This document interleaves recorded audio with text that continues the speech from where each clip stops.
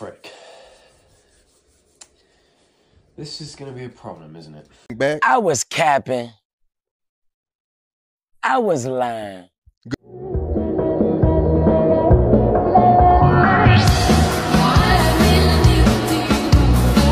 You know what it never was? That serious. It was never that serious. Oh my God. That's Rana. Bad. Yeah, you froze. She You, bad. fro- you froze. She bad. yeah.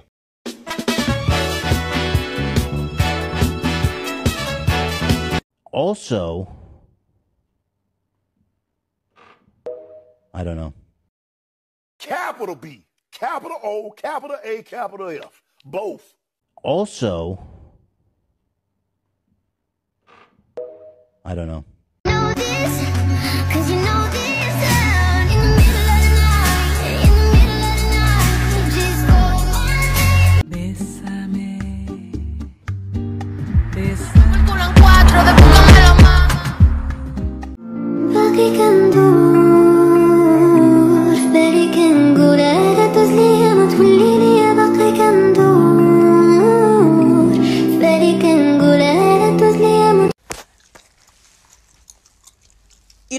my aesthetic. Shut up! You're gonna like it today.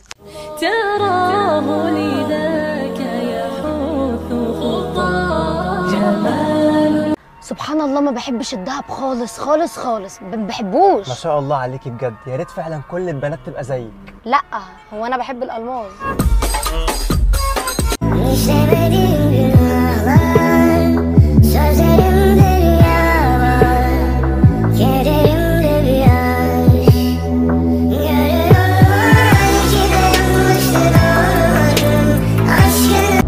And remember, never compare your life with the ones who enjoy haram, even if it may seem as if they are more successful or happier. Nothing in this world is worth losing your Deen and Akhirah over. Basically speaking, we've answered this before. Perfumes that have alcohol are totally prohibited to drink. The Sheikh, who would drink it? So you tell me. Applying it externally is totally permissible. Oh, but it contains alcohol. So what? Show your childhood crush and then the person you ended up with. And just like that All I breathe All I feel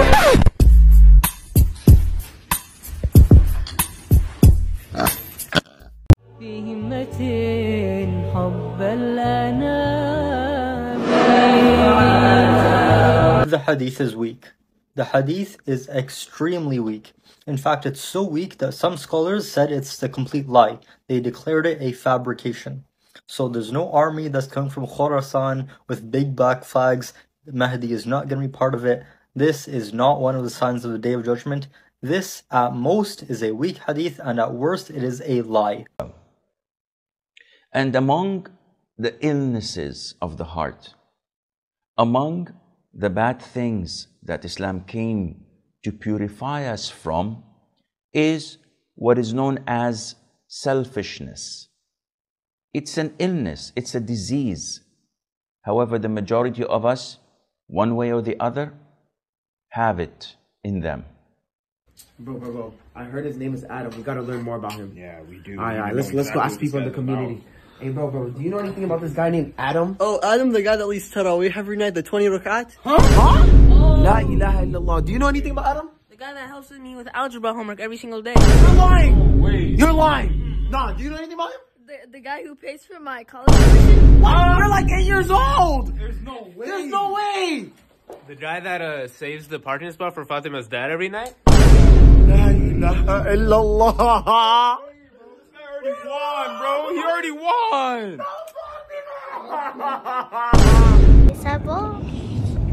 the question today is What's the greatest blessing which Allah subhanahu wa ta'ala has bestowed upon us?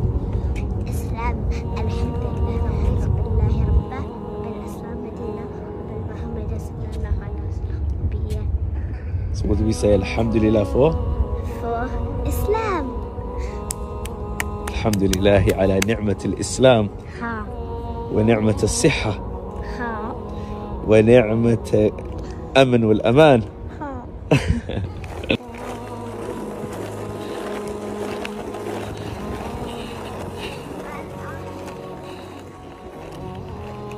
You're the dumbest bitch and with the biggest heart. I love, love, love that. If you're a Muslim girl and you plan on wearing a hijab one day and you don't wear it right now, then take this as a sign to not post on social media.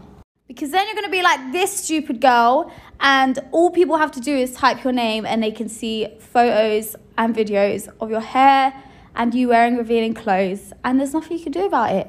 And then, literally every day, you're going to be fighting the battle of why the hell am I doing this when all people need to do is type my name in. So, why am I hiding it? Like, what's the point?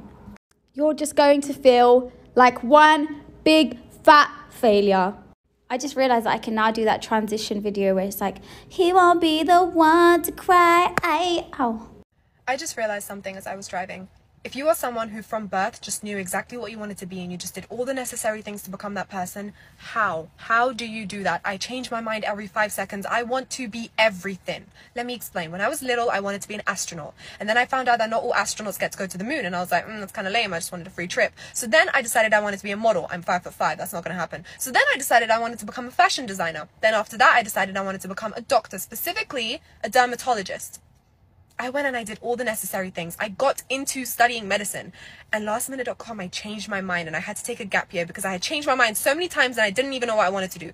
Then, when after the gap year, I studied biomedical chemistry. Why? I don't know. Then I got into trading. I was a trader. I was public speaking. I was doing all that kind of stuff. Then after that, I started a brand and now I sell clothes to women to help them feel powerful. You see?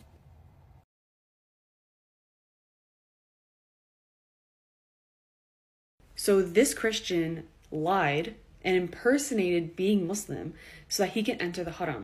And in his caption, he tries saying that he conquered Mecca.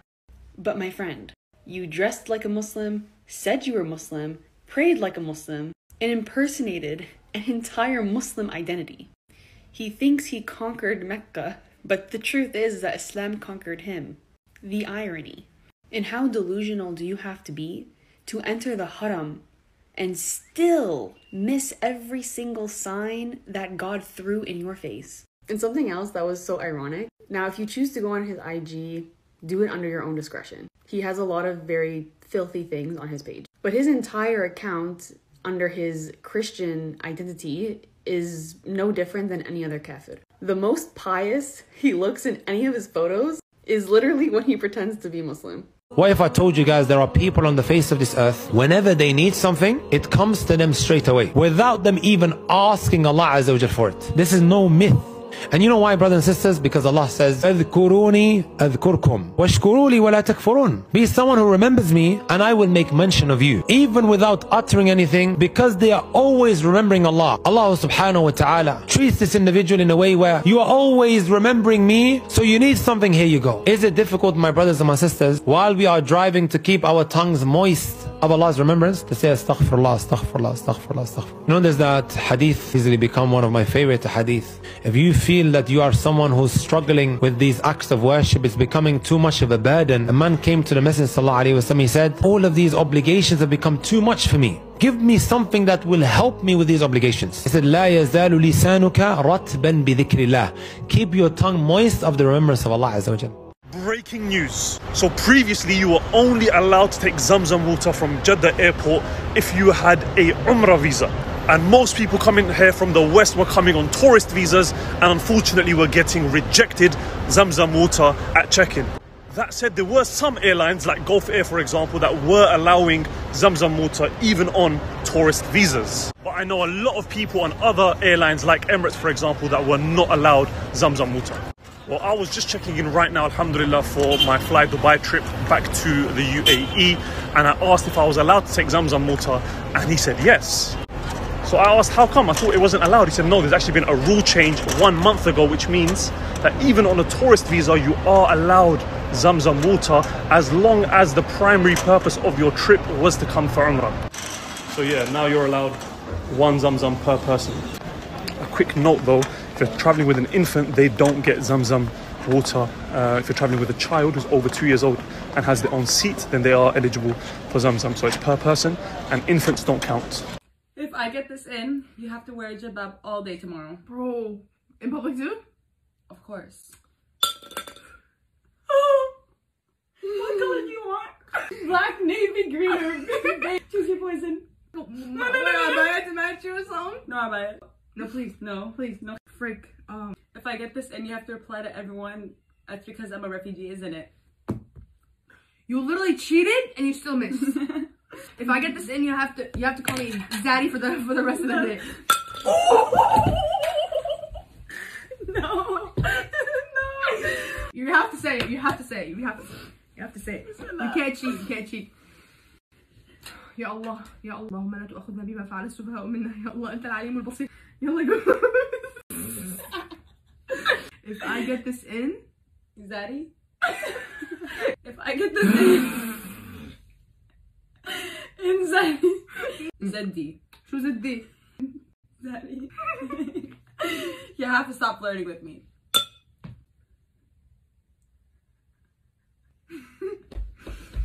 You're literally, you're such a hypocrite, bro. You're such a munafiqa.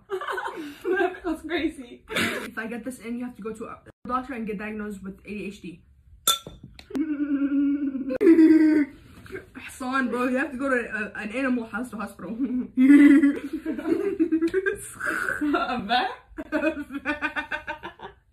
وانت تلحقيني؟ بصلي actually يا حية You're معزاية أنا حية you're, you're the hybrid mix If I'm a hyena, you're literally a jardoni. You're actually جربوعة get out of here You're a bazaar. يا سنفورة انت If I get this in you have to say yes to everything I say Zari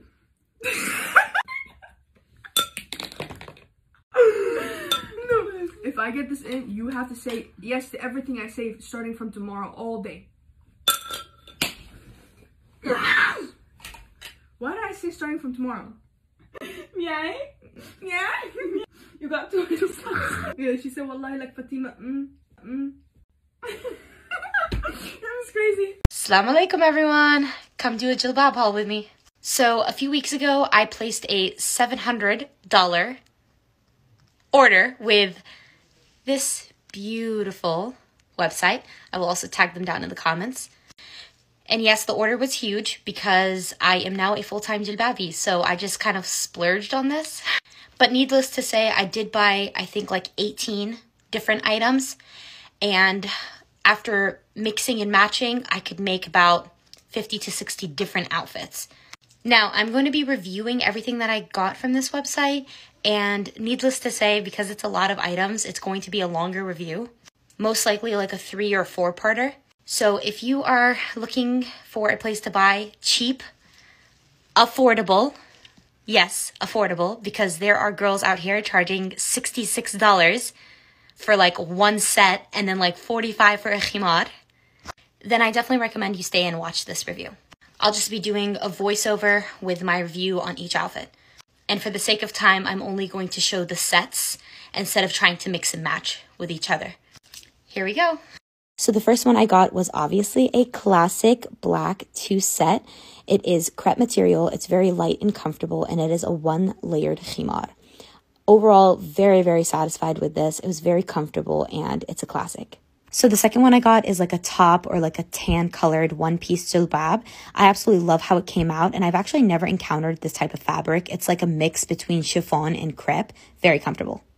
So this third piece is like a mauve tannish color. It's a two piece with the khimar being one layered. It's absolutely gorgeous and the fabric is like a mix between chiffon and silk. I'm actually absolutely obsessed with this two piece one. It's one of my favorites. Also, the abaya comes with a zip up and the sleeves are connected instead of balloon, which I think makes it so gorgeous. So this third one, you might have actually seen it in a few of my TikToks, but it is a sage green two layered khimar. This is a set and it's one of my favorite. The material is crepe, and I honestly love the crepe material because it's light and comfortable, especially on hot days. So for this one, before you guys absolutely drag me in the comments, I'm not a hooligan, I promise. I just didn't iron it after I washed it. So I know it looks ice blue on camera, but it's actually like a baby blue color. It's one piece, and I absolutely love the design on the sleeves.